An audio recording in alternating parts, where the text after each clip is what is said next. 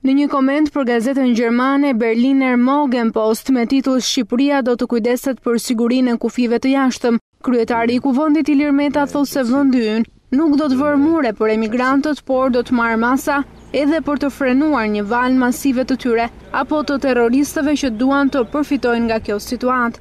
Për sa kohë që korridoret përmes Ballkanit mbeten të bllokuara, së shpejti mund të synohen rrugë të tjera, për të tentuar kalimin përmes Shqipërisë në drejtim të veriut apo kalimi i Adriatikut drejt Italisë. Ata tashmë janë pranë kufinjve tanë. Si një vend europian, Shqipëria në bashkëpunim me BE-në dhe me fqinjët tanë, ne do të marrim masa parandaluese për të përballuar një situatë të tillë të mundshme.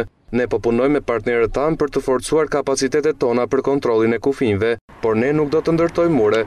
Meta nënvizon se Shqipëria po forcon masat për të mos lejuar depërtimin e terroristëve në vendin tonë.